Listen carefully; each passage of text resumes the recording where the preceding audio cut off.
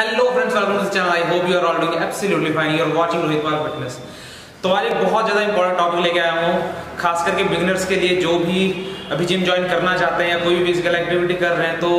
एक सबसे इंपॉर्टेंट चीज़ जो है वो है डायनेमिक स्ट्रेचिंग जो कि बहुत से लोग, जिनको काफ़ी टाइम भी हो गया, वो भी वार्म अप या डायनेमिक स्ट्रेचिंग अच्छे से नहीं करते, सीधा वेट की तरफ़ जाते हैं तो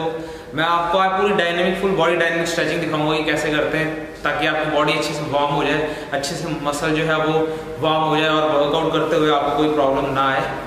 तो वीडियो पूरी ज़रूर देखना और चैनल पर नए हो तो सब्सक्राइब करो बेल आइकन को दबाओ, ताकि वीडियो का अपडेट सबसे पहले मिले। तो चलो करते हैं शुरू।